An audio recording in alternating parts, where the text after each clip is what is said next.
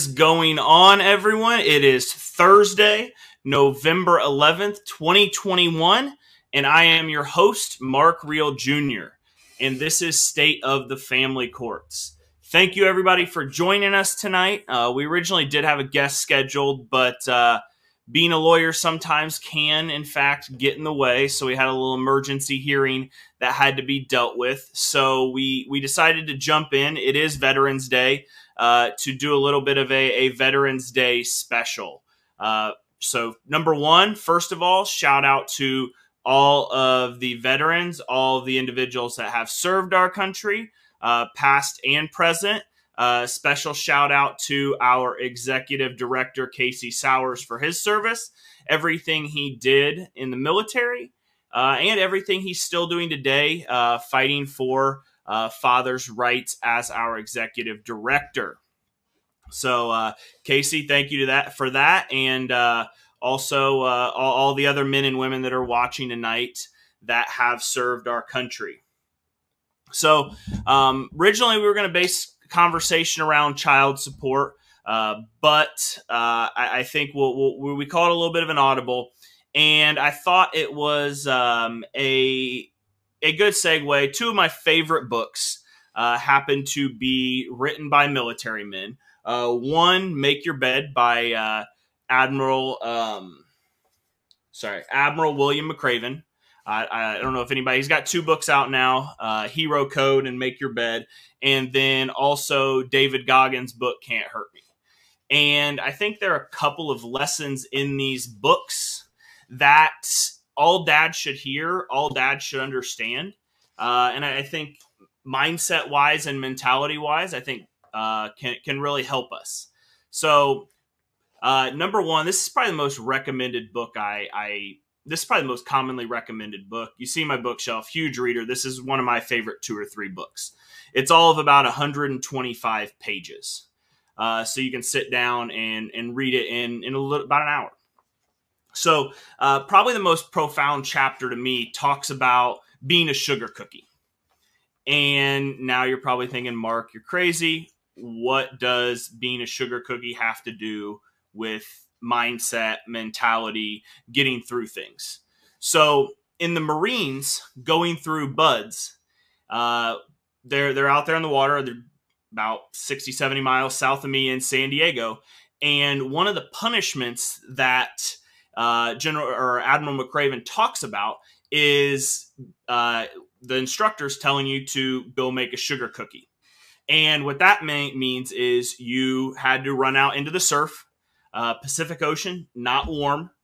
And then once you get wet, you came up on the beach and you had to roll around and cover yourself in sand.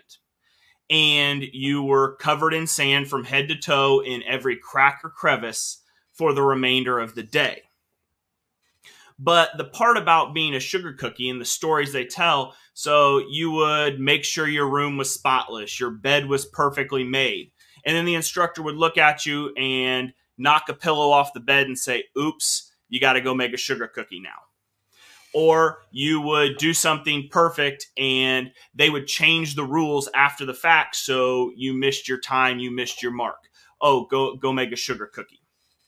And I think the, the, the part about it that really gets to me is so um, this was an instructor talking to um, Admiral McRaven, Mr. Mack, do you have any idea why you are a sugar cookie this morning?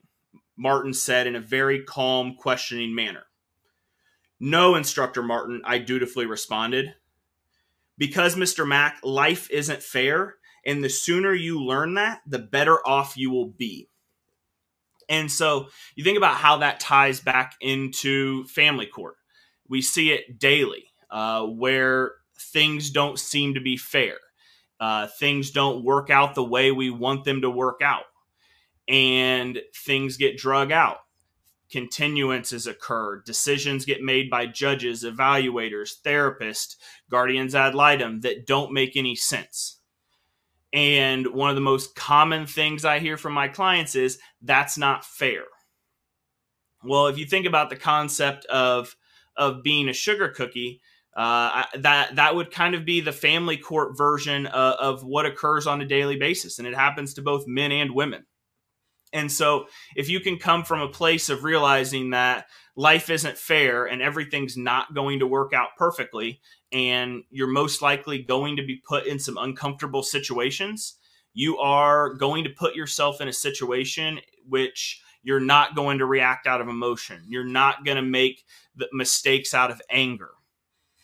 And so you you're going to put yourself in a in a better spot and you're going to remove a lot of a lot of stress that comes with going through the family court process by just simply understanding that hey life isn't fair and despite the work we're doing and everything we all the balls that we have rolling and the the things that are gonna, that have happened in 2021 in terms of legislation and court cases and the things that are going to happen in the very near future uh, that's not going to prevent unfair things from occurring.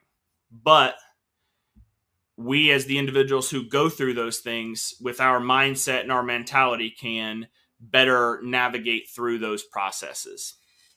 So um, I, I, thought that was that was something given the uh, the marines tie in it being veterans day uh, that that was something i wanted to share. I'd highly recommend both those books uh, make your bed by admiral uh, william mcraven and can't hurt me by david goggins um, I think those those are two books that that any dad going through family court uh, would would be well worth it for them to pick those books up.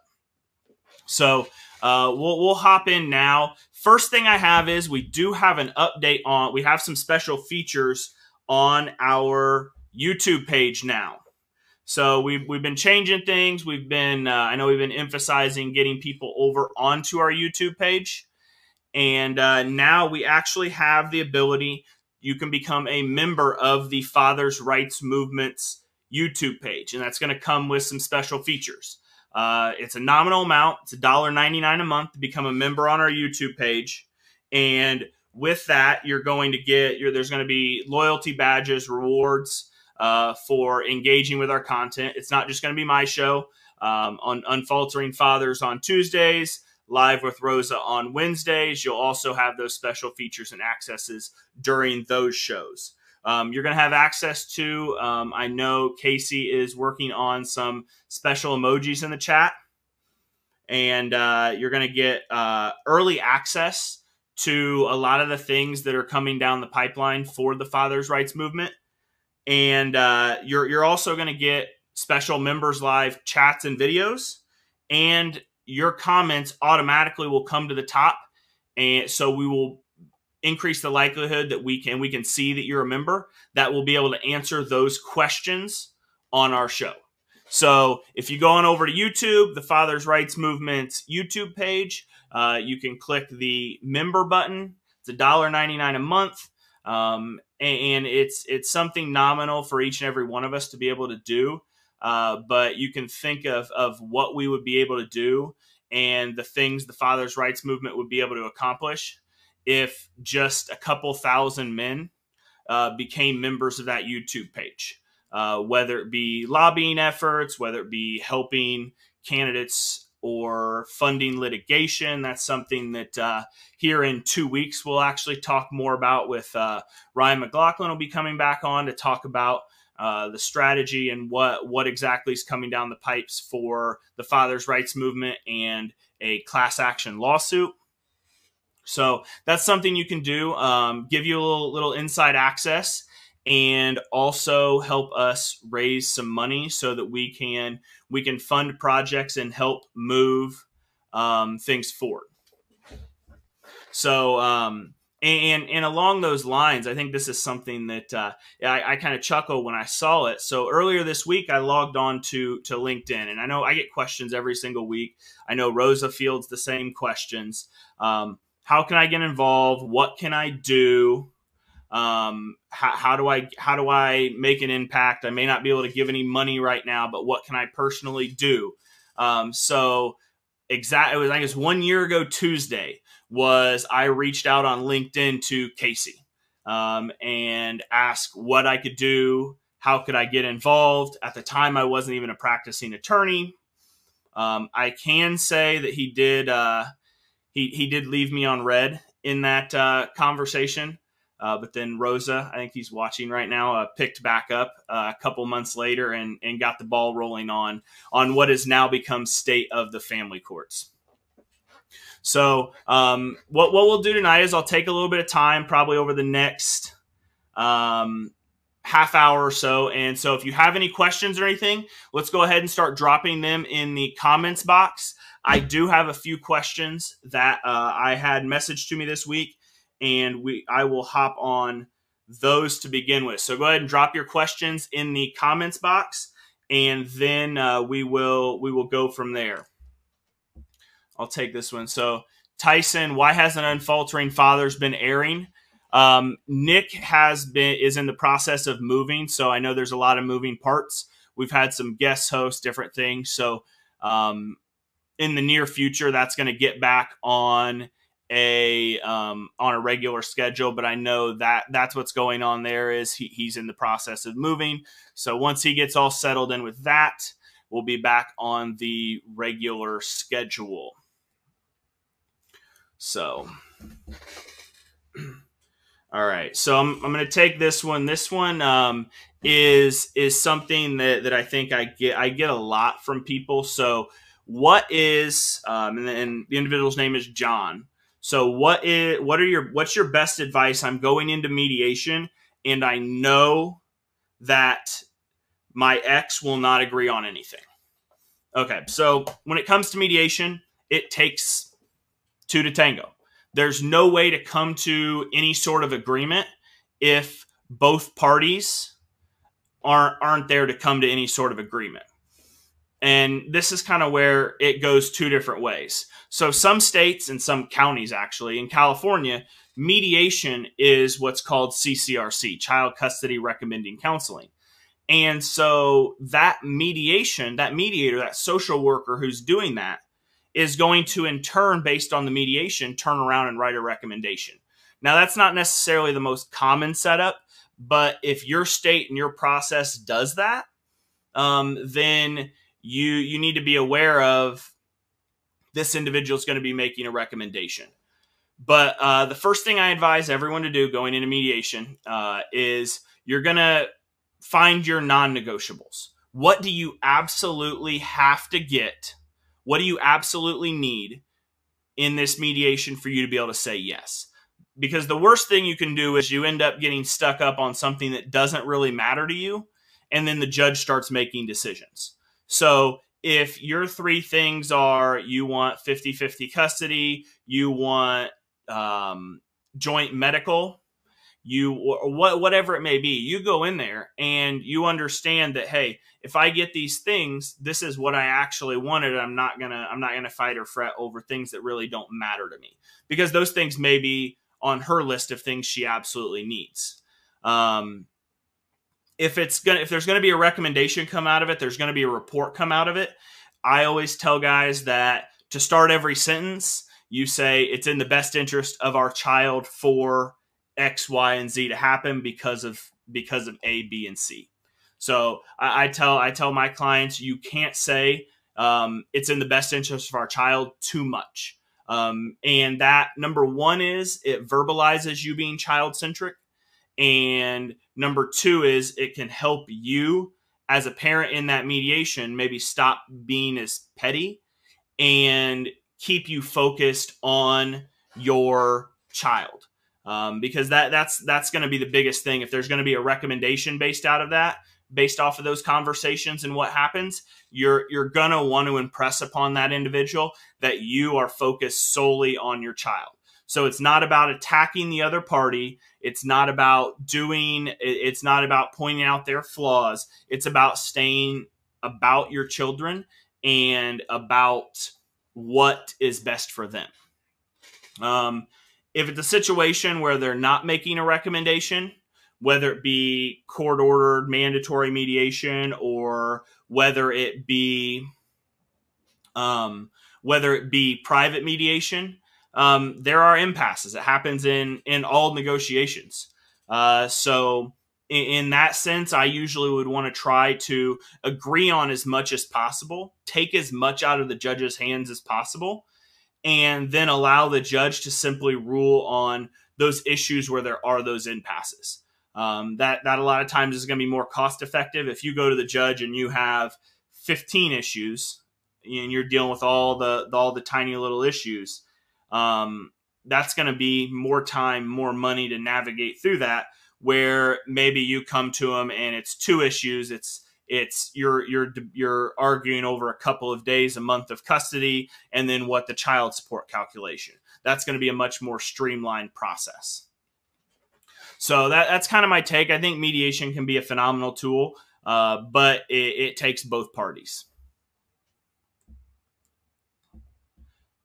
So Shane here, it's hard for fathers to have any rights here in Australia. It broke me.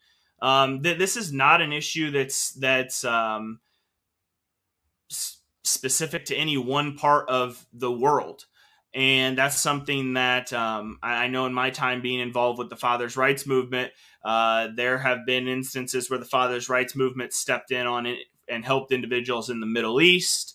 Um, obviously all over the United States, Canada.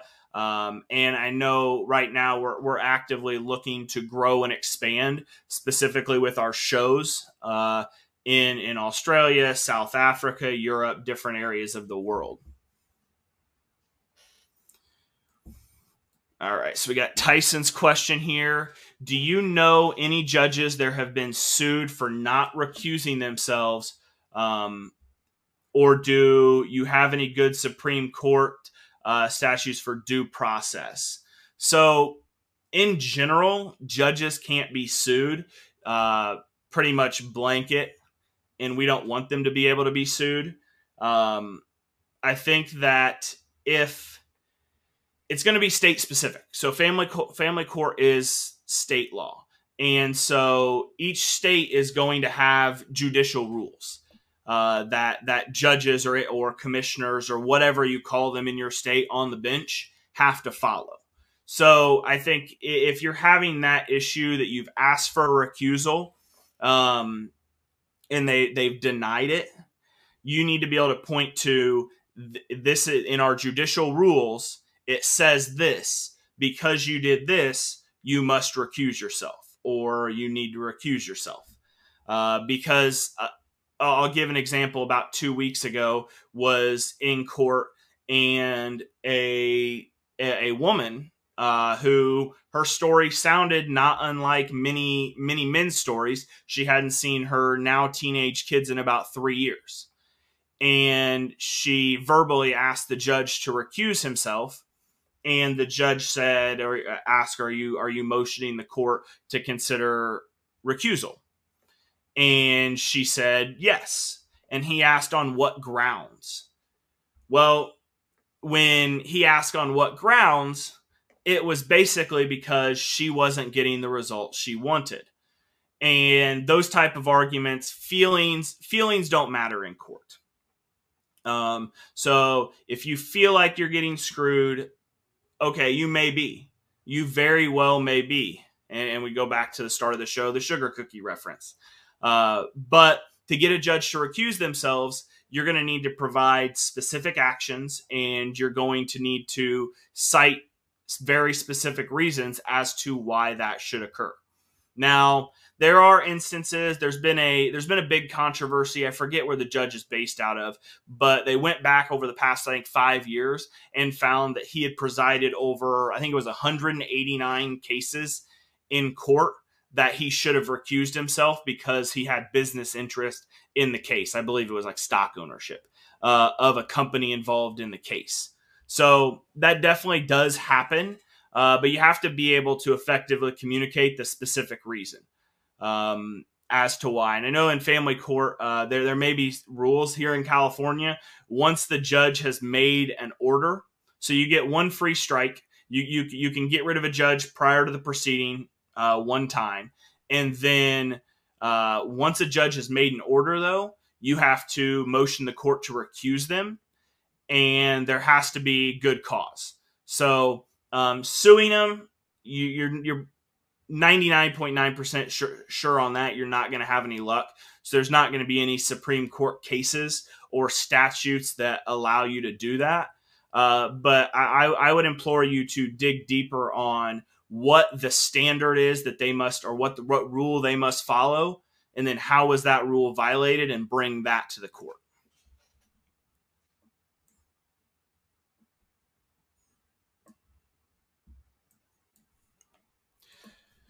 We'll take Daniel here. So the reality is the court and court related entities do not care about the best interest of the child. Um, I think that he, here's here's one thing. I guess I'll get I'll get on my soapbox. Things have changed. Things are different than they ever have been before. Uh, go talk to any attorney who was practicing 15 years ago, and things are very very different now. Things are moving in the right direction. Um, and so you, I, I see it on a daily basis where, granted, it takes more extreme situations, but I, I can list off half a dozen clients of mine who either have gotten full legal and physical custody or we flipped primary physical custody from mom to dad. So there are some misses um, and there are some judges that make mistakes, but we're moving in the right direction. And we are continuing to educate more judges, more attorneys, more parents, and just the general public as to what's truly in the best interest of the children. So, um, I, I, would say that if you get in front of, say, a judge who I've been in front of judges who say week on, week off is awful, no kid should do week on, week off. Well, we turned around and two weeks later file a brief with all the research that shows that week on, week off is actually a really good arrangement for older kids. So um, that that would probably be if you're running into things like that. A lot of it has to do with education, and, and sometimes I'll even file those type of briefs to educate opposing counsel. Uh, there there are attorneys out there they've been practicing for 20 25 30 years and they still operate as if it's 1985 and in 1985 it was dad gets every other weekend deal with it so there there are ways you can get around it, and I think uh, the number one is just continuing to educate people.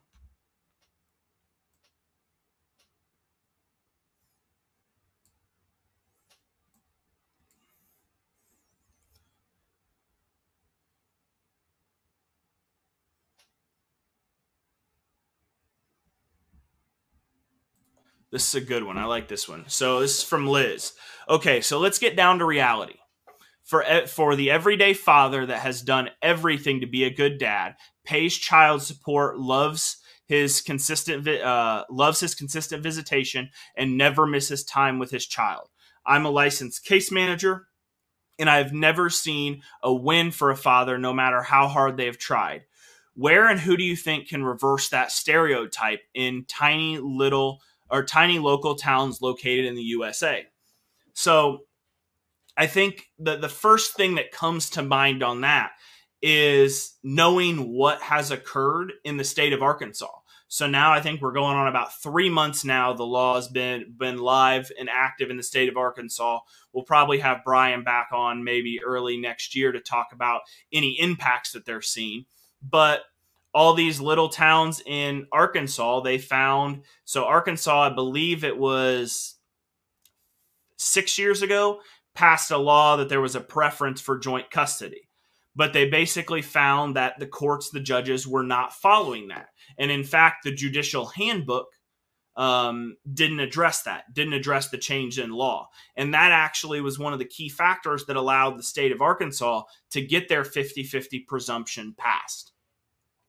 So I, I generally do agree with you, though. Usually the mom has to screw up to for to see a a dad getting full legal and physical custody or flipping primary custody there usually has to be some screw up and a screw up for a mom has to be much larger than a screw up for a dad to do that.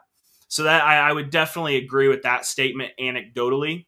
Uh, we also have to realize that it's something like 13 14 there are 13 or 14 percent of cases where moms do get the short end of the stick in court so I think to create change, it's educating people, it's sharing videos, it's having conversations because I think a lot of us did not know how the family courts operated. We did not even know they existed. We just assumed they would be fair.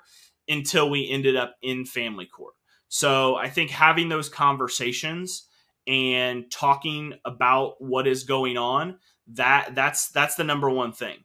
And then I think in terms of creating change, uh, I think that dads have to show uh, that they are more than capable parents. So, in what time you do get, maybe it's 40 60, maybe it's the 25% that every other weekend and one dinner visit gets you. You have to show that you're a good parent because for every, despite the fact that for every five stories we hear about mother or her new love interest harming a child, there's that one incident that involves dad, and that dad incident gets amplified. So we we have to educate people, change the public perception, and dads have to do what's best in their time. So I, I'm going to put this up here. So uh, Ted is Ted's been on the show before. we we got to get you back on Ted, but um, there is a um, there he he's citing a Supreme Court case. So uh, Liteky uh, v. United States, 1994, uh, is the primary case that lays the constitutional requirement for recusal, um, and then goes into um, the fact that that judges do in theory have blanket immunity. So so there's the answer on the the case law in terms of what you can use for your recusal. There's going to be some state specific stuff that goes into that too, but uh, Liteky v. United States 1994, that'd be a case I would take a look at. And I'm doing that blind. I have never personally read the case, but I 100% trust Ted. All right, so Daniel, and this is this is a hot topic, um, and and I'm gonna I'm, I'll lay out a little more specifically why things are the way they are. Daniel says I disagree that we should not want to be able to sue judges. Judges are re- rarely held accountable under judicial review, so that's a true statement. The legal profession in general it's my position that the legal profession in general is one of the few professions that governs itself in totality. So it is lawyers governing lawyers, whether they be judges, justices, attorneys. Um, we're a profession that is is policed by by our peers, and so that does cause some issues. The problem you would have with judges being sued is you think about how backed up court calendars are now across this country and how underfunded they are.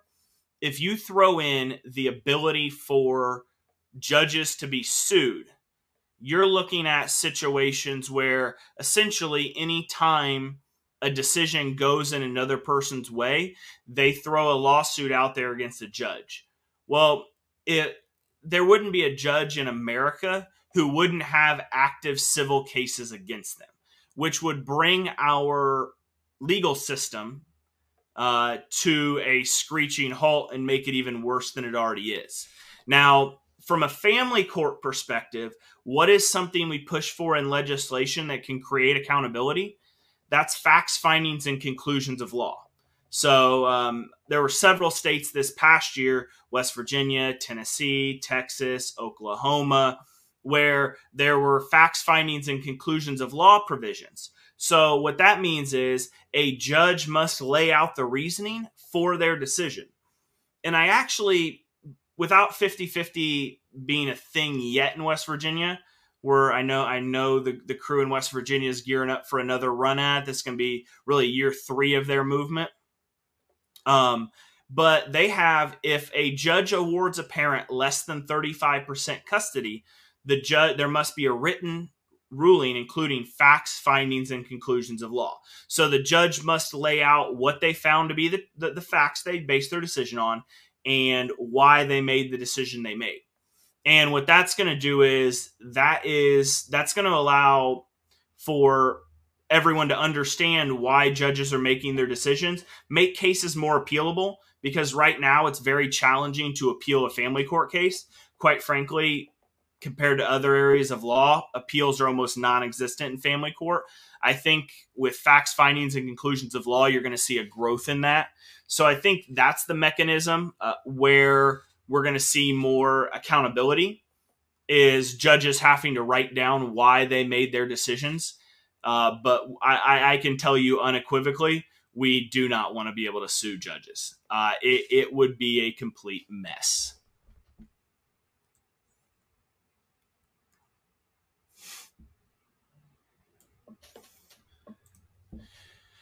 Uh, so Adrian, so you can reach me if you go to on on Facebook, YouTube, uh, Instagram at the Father's Rights Attorney. Uh, you can drop me a message and we can get you the information to be able to contact my office. that really goes for anyone. So, uh, be- best place that you're probably going to get quickest response either uh, Facebook or YouTube at the Father's Rights Attorney.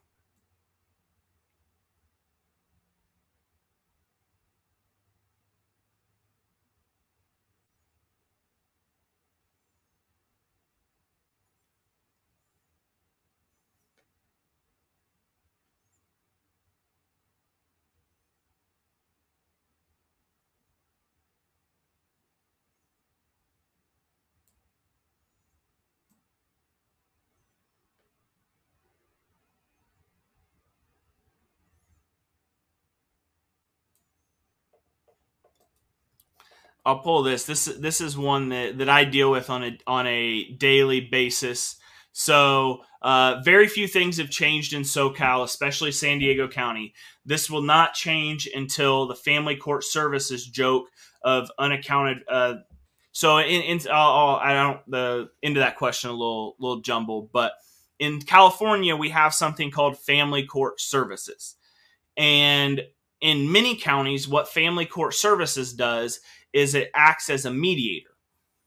But if an agreement's not reached, they make a recommendation to the judge. So this social worker uh, makes a recommendation as to what they believe custody and visitation should look like based on a half hour to an hour long conversation with the parties. Different counties, some counties do it a little differently, but in general, most of the counties outside of Orange and LA do the recommendation. And so this recommendation a lot of times turns into the starting point of discussion on what the order is going to be when you do get in front of a judge. Uh, and and it's it's problematic uh, being being that I practice in in count mainly in counties that have it, but also have cases that that don't make the recommendation. Um, I, I would tend to agree. I mean, I think there needs to be less weight on that recommendation, and the judge needs to be the one hearing the arguments and making the decision.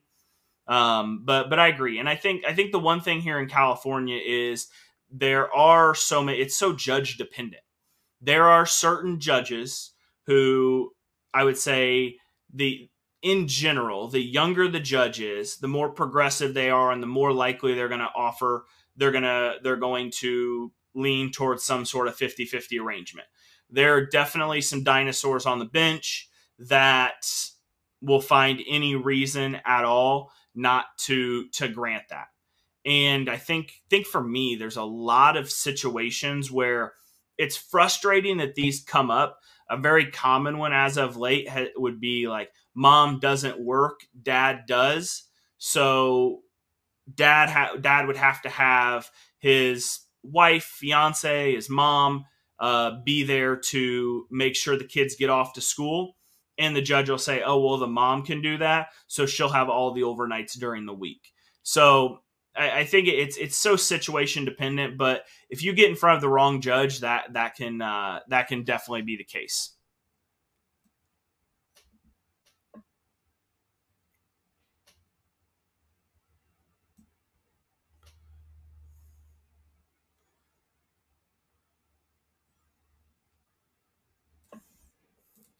So not really a question. So and recommend minors counsel. So my my in general opinion is that I don't want any third parties involved.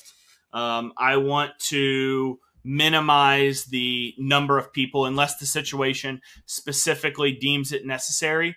I it's such a crapshoot. It's such a mixed bag. Whether they call them minors counsel, guardians ad litem, um, it's putting another person in the situation that doesn't need to be there. That's another question mark. It just it lessens the control and influence of you or you and your attorney because you're injecting another you're injecting a third attorney or a third party into the proceedings. Now, some states you can't avoid it. but there are certain states, I believe Missouri is one of them, where if there's allegations of domestic violence, order of a guardian ad litem is automatic and you can't prevent it. So, but in general, I like to keep third parties out.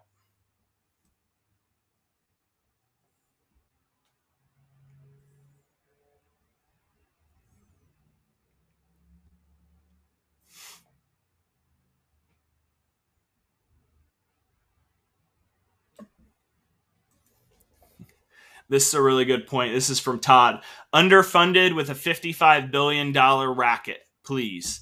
Um, well, it's it's reports now or it's north of 60 billion. So, um, but yes, at, the at the state level, at the caseload level for the judges, a lot of times they are um, a, a, lot of times there's too much on their plate. I, I think, for example, even despite the fact that there's a there's a ton of judges, there's a volume of judges in Southern California, they may have 70 to 80 cases and hearings in front of them every single week. And um, there's really California's tried and I think failed to have a mechanism prior to getting in front of the judge that helps settle cases down. So, um, at the state level, and what the judges and what the courts have to process, and the sheer volume of what they have to process, um, they are understaffed. I'm not going to say underfunded, but they are understaffed.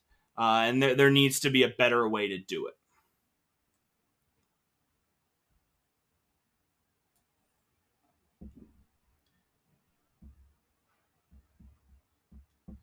So we got. Let me let me find this were posted. So um, this is Casey's posted this. So th- this isn't this is something that uh, the fathers' rights movement's pursuing to help gain support, raise funding. So U.S. corporations are losing 353 billion dollars uh, a year because of inequality in family court system. Um, so that's something that I know there, there's a behind the scenes right now. There's a strong push to get more corporate involvement, um, to educate major employers, major corporations um, of the impact of what family courts doing to their business. Um, so, so on top of the, I guess tying into, there's not enough staff at the courthouses to do what needs to be done. It, it's also hindering uh, business. So we'll go to John here. Many judges are elected, and the turnout is very low on those races. Need more coordinated focus on that. Of course, there is legislative accountability through impeachment, but good luck with that. Yeah, um, especially when you're talking about uh, low level state court judges. But yes, um, I, I will say that uh, there are even even in in Southern California where there is there are just the pop where the population centers are. There are judicial races where judges run unopposed. Uh, in in Riverside County a couple years ago, I know about half of the judicial races were unopposed.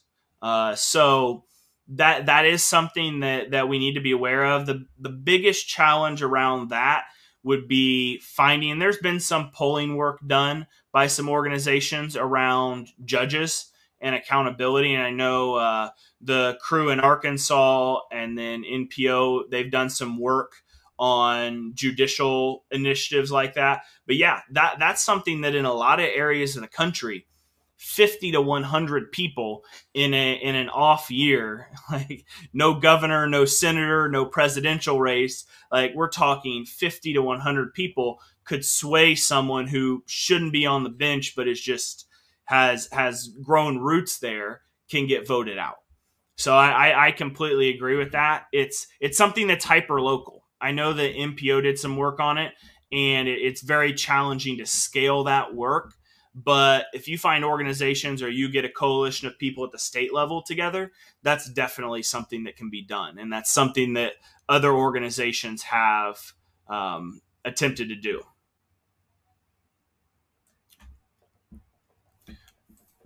All right. So I live in Brevard County, Florida. How can I find out who is running for father's rights? Uh, so judicially or um, in, in terms of your, your state representatives, I guess I can address both. So the way the NPO did it is they did it, they was hyper locally and they actually got judges to answer questionnaires um, or judicial candidates to answer questionnaires. Um, on the on the rep and outside of that, it, I mean, you can go go to their local political events, ask those questions. Um, I, I know different groups and in different states they've had some success with state representatives doing that. So yeah, going to those events, or if you live in if you live in a, a community where hey, there's 25 attorneys and two of them are going to be the judges they're they're going to be accessible. So a lot of times it just is asking the questions and finding those people or encouraging the people you know that support it to run. At the on the other end of the spectrum, the legislative perspective, um, that's something that like you need to be going to their political events, asking them questions. Get it. I mean, you can get a coalition as small as two or three people in your area to show up at these political events. And this is a John Nichols out of Michigan actually talked about this strategy and they used it up there. They'll go to political events with a small group of people. We're talking two, three, four people, but they won't sit together. They will sit on different sides of the room and they will all go up to different microphones to ask a version of the same question, essentially putting heat on the person, making it seem like there's a large number of people in the room that are concerned about that issue. So I think that's probably the most effective way. Um, honestly, you can at the state level, especially your representative assembly people where they're representing 15, 20, 30,000 people maybe total, just sending their office an email may elicit the response you you desire.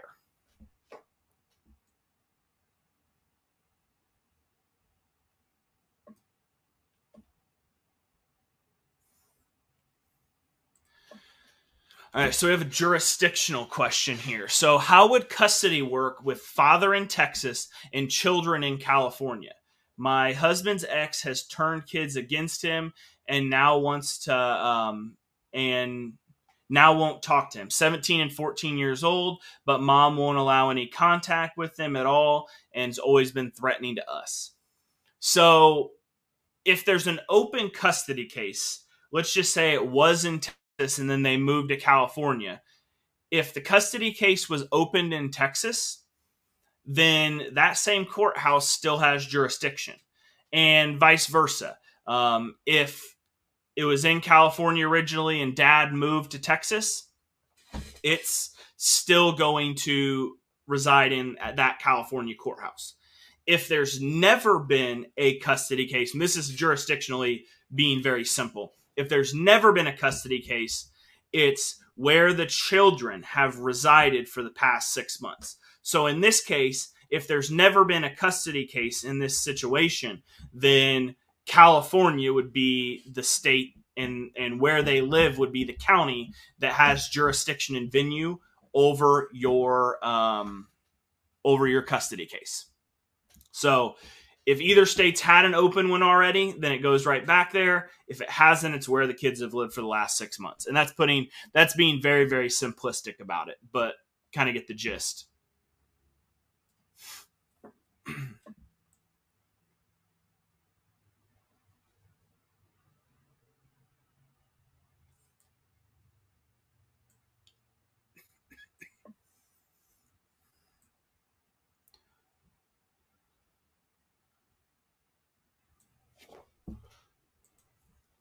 Go back to Daniel here. This is an interesting one. I'm actually seriously considering appealing my case and taking it to uh, Court of Appeals. The goal is to challenge the legitimacy of family court services and to collapse that portion of the system. I have an attorney who's been dreaming of this possibility.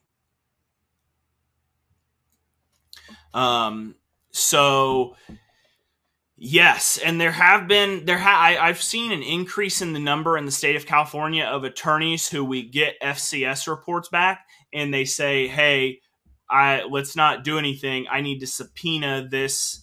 um, FCS, this person who wrote this recommendation, because I want to I want to question them on the stand. Um, so there, there have been a couple different ways, but yeah, in, in general, family court services in a lot of situations gets too much weight.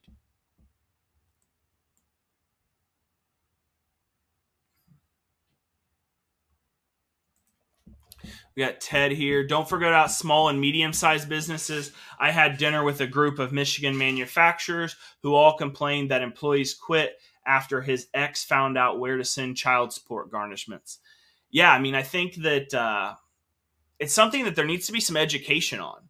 So I, I, I can't necessarily say the the organization, but we'll say it was a, a rather large organization.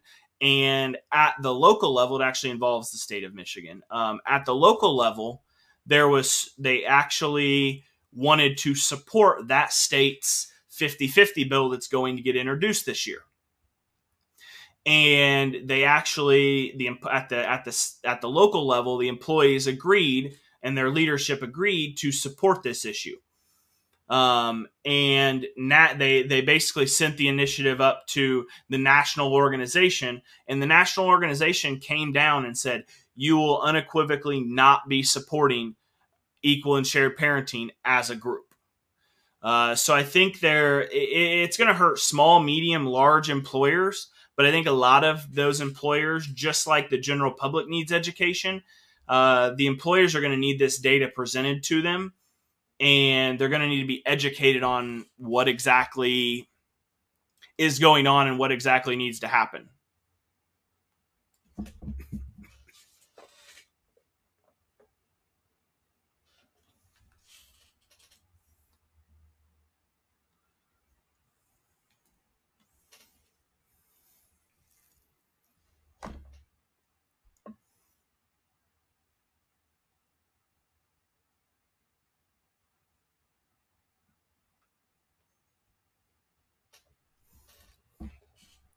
We'll go back to Daniel here because I've seen this.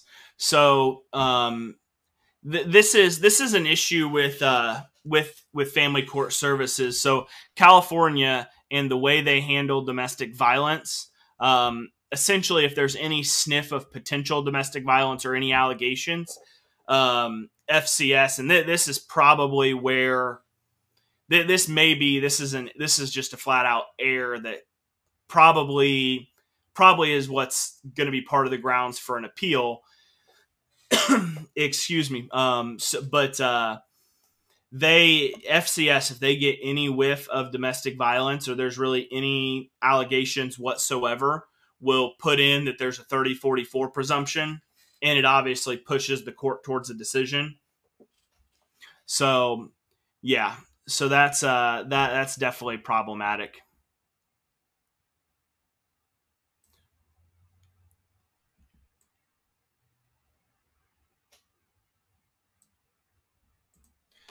So we'll go to Mark here. How can you ask get a different judge? Judge I have now is a man hater. Uh, so it depends. So it's going to be a very it's going to be a state level issue. Each state's going to have their own specific rules. In the state of California, um, one time prior to the judge to a judge ruling, you can have them removed as the judge, and you can get a new one. And there's no nothing nothing bad happens, anything like that.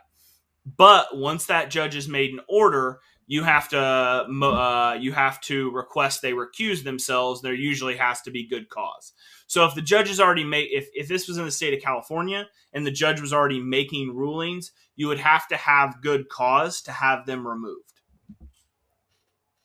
But if they hadn't made any ruling or anything yet, like let's say it's a known judge who who who never rules on the favor of fathers, you can strike that judge in California prior to even having a hearing.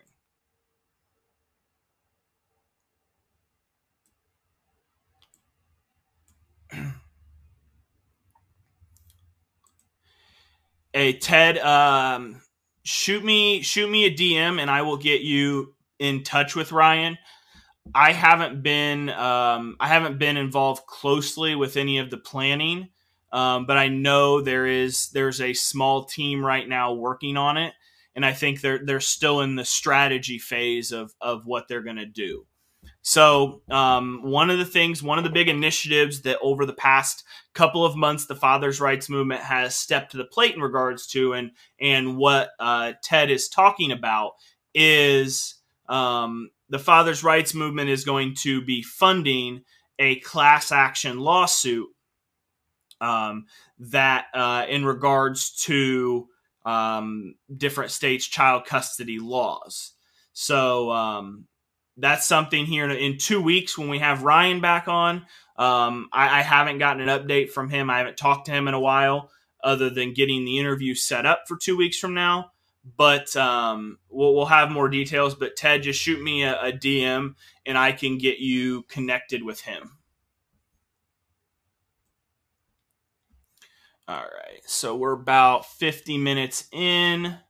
Let me go through. I'll find a couple more questions here.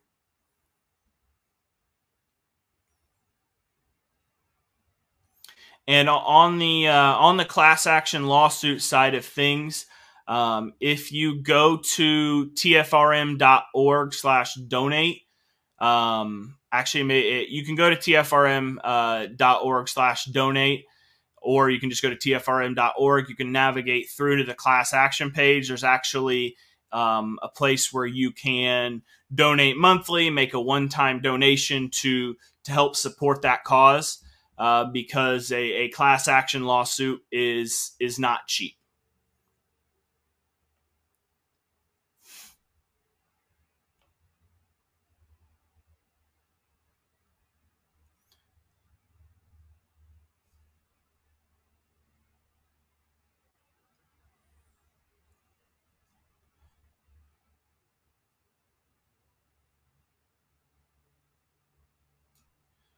We'll get here with John. So if you um off the top of my head, I would have to look. If you're in a state you're looking for a contact for an attorney, um, if you if you drop me a DM at, at the father's rights attorney, I do have I do have a pretty robust referral list uh, with with names in most states, not all states, and some of the larger states they may not cover the entire state. But if you drop me a, direct message at the father's rights attorney, I will uh, see who I have, include what city you're in, so I can know if, uh, what area of Ohio uh, you would need that help in.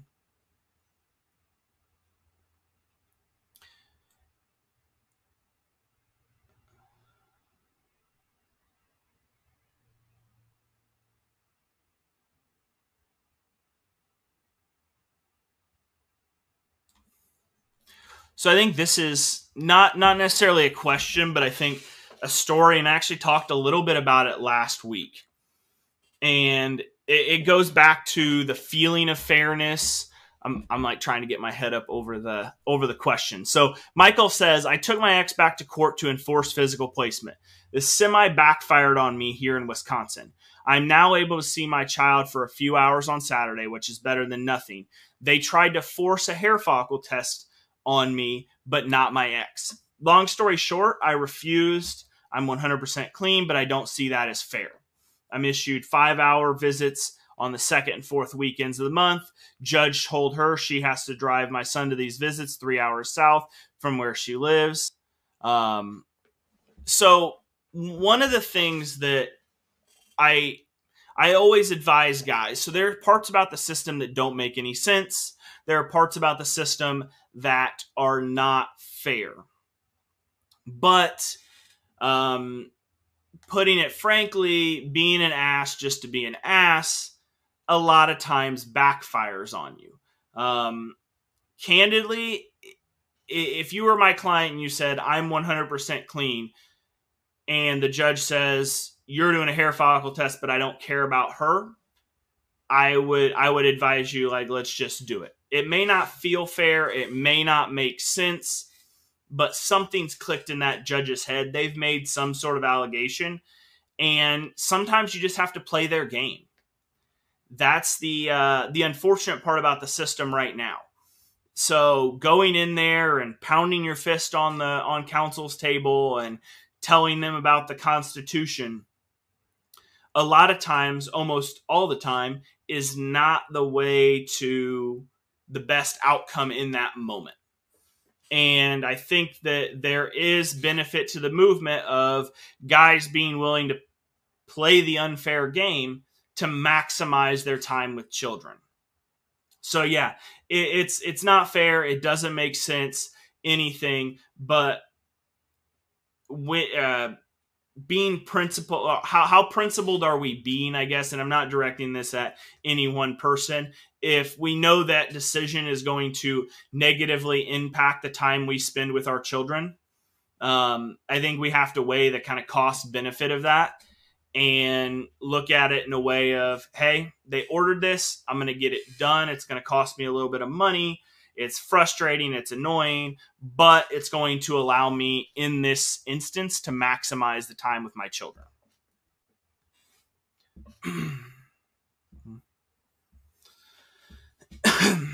and then I'll kind of follow up. Like I went in pro se and I think I messed up. Um, I think anybody who goes in pro se not knowing about the situation is you're going to make mistakes. There are certain things that I can avoid that that I can help educate clients. Um, I spend a great deal of time educating clients on how to communicate with their co-parent when um, when they're they're combative, how to deal with CPS, how to deal with family court services here in California. And there are certain things, and I'm in, I'm in front of the same judges over and over again. So there are certain things that I know how to deal with um, and what probably the best course of action. Um, in terms of if we were here in the state of California, I would probably say you file another request for order. You go back in front of the judge. The judge says, Oh, you refused a hair follicle test last time, and you offer to take it. Uh, because in family court, and I had to, I, I'm not familiar with the laws in California or in Wisconsin, but um, in California family courts, pleading the fifth in regards to anything, essentially the family court judge can presume you're guilty. So you probably that's probably the the feeling or the the answer you elicited from the judge. So I mean, it, it they they may be willing to do something they may be able to willing to do something moving forward. You may have to prove a certain burden to get back in front of them, but um, sometimes you got to play the unfair game to maximize the time with your child. So it may be going back in front, maybe going and getting that hair follicle test and going back in front of the judge right now. Um, so you go in there proactively with a hair follicle test, and then if they say go get another one, you go get another one. so we'll get this will be the last uh, question here. Um, or so is there such a thing as motion to compel the other parent to file the court order after she violates it for nine straight years with strong evidence? Um, so is there? It depends on the state. So number one is like state like Oklahoma. If you go back, um, I think it was two three weeks ago, I had Keith Flynn and Brian Jackson on if you go to my YouTube page, you can probably find the specific video that just has that part of the conversation. But in the state of Oklahoma, there is a there is a form that can be filed that gets you in front of the judge within 21 days.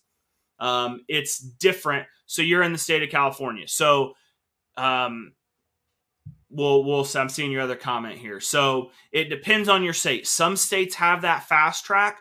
Other states you you would you just need to file a request for order so you can file for contempt um, which isn't going to get you any more parenting time it's going to be a punishment for them Um, but you can file a request for order and go in front of the judge requesting to modify on the basis that the other parent's not following. Candidly, the biggest challenge you're going to have is that it's been nine years. Uh, so at some point in time, the judge is going to take a look at it and say, You allowed this to happen for nine years before you've done anything about it.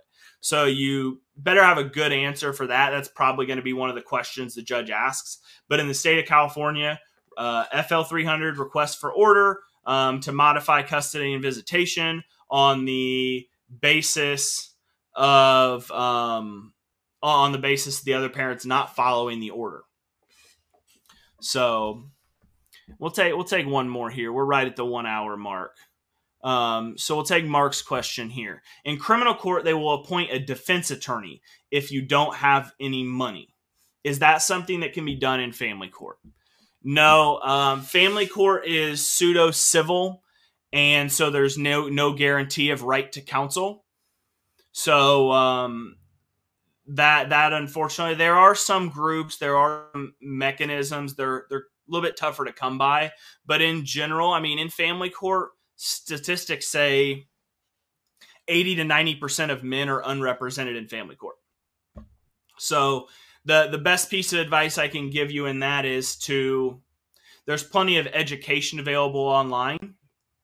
Do your research, understand what's going on, get a gist for what's going on, and then be able to go from there. But given that it's not uh, criminal, there's no um, it, it's I, I, hate even saying this, but it, it, essentially the rights that are at stake in family court are deemed to not rise to the level of criminal court where you can lose in some states life or um, your freedom where you you can get that public defender. It doesn't that's not the case in family court. Um, so unfortunately the short answer is no um, but there are resources out there whether it be educating yourself or um, limited scope where they come in and do certain things it, it really depends on your situation so, all right, guys. So we've spent about an, an hour and two minutes now. Um, so we'll get off here for tonight. Thank you, everyone, for watching. Thank you, everyone that participated. Uh, next week, we will be back. We will have North Carolina attorney Ashley Nicole Russell on the show. Um, and then the following week, we'll have uh, Minnesota attorney Ryan McLaughlin on again. So thank you, everyone. And I will see you guys next Thursday.